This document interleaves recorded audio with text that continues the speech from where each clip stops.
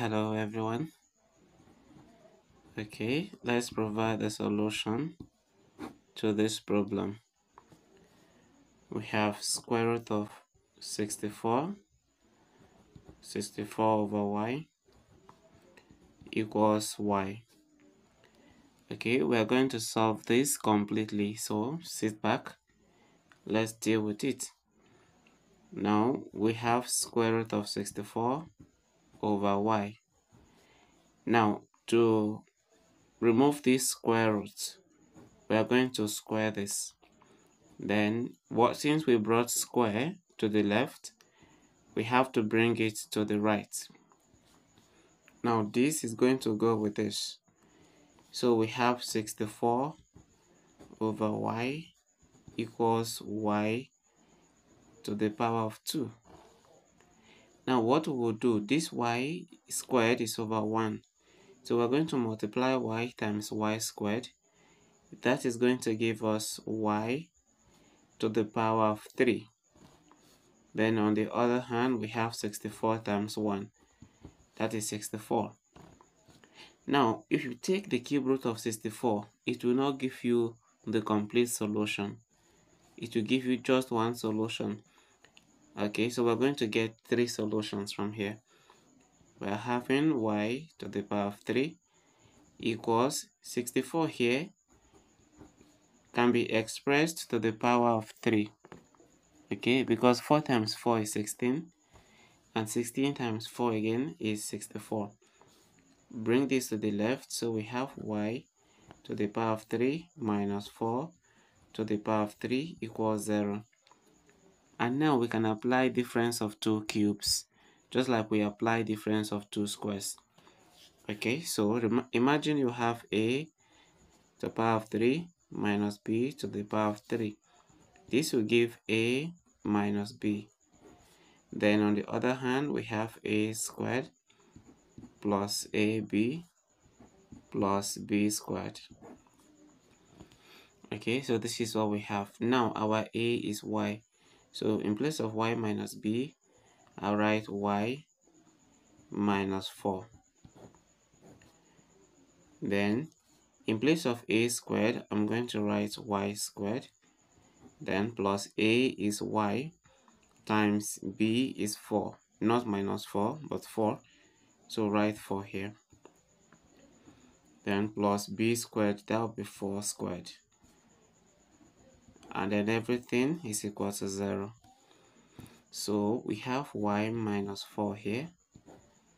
Then from here we still have y squared plus y times 4 is 4y plus 4 squared is 16 and then everything is equal to 0 now that we are multiplying these two to get 0 it means that one of them must be equal to 0 if this is not 0 and this is not 0 you cannot multiply them to get 0 so it is either y minus 4 equals 0 or this right here y squared plus 4y plus 16 equals 0 so I'm going to pick this first. To remove this from here we're going to have y minus 4 plus 4 equals 0 plus 4. So if you do the same thing on both sides of an equation, you have not changed anything. Minus 4 plus 4 is gone, so we're having y here. And that is equal to 0 plus 4. 0 plus 4 is the same as um, 4. So this is one of the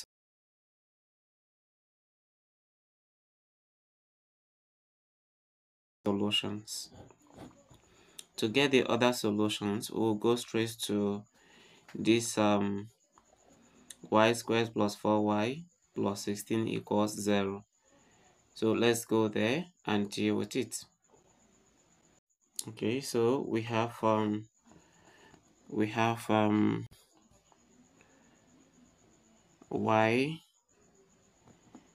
y squared plus 4y plus 16 and then we equate to 0 square root of b squared minus 4ac divided by 2 times a. now our y will be b is 4 so we have minus 4 plus or minus square root of b squared that will be 4 squared minus 4 times a times 16 a is 1 and c is 16 divide by 2 times 1 because a remains 1 so now y is equal to minus 4 plus or minus.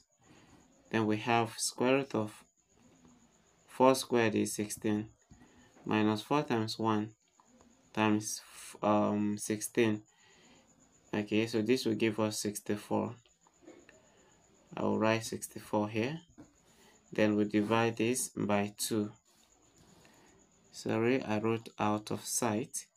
Now y is equal to the value of y. We have minus 4 plus or minus.